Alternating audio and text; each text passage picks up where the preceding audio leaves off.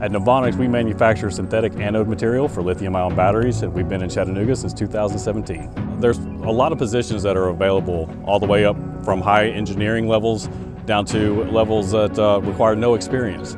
So we were very excited to partner with Hamilton County Schools and, and build this Future Ready Institute. So the students coming out of this Future Ready Institute, uh, which we have named the Novonix Institute of Advanced Battery Technology, um, We'll have several different skill sets that are going to help them springboard into the renewable sector industry.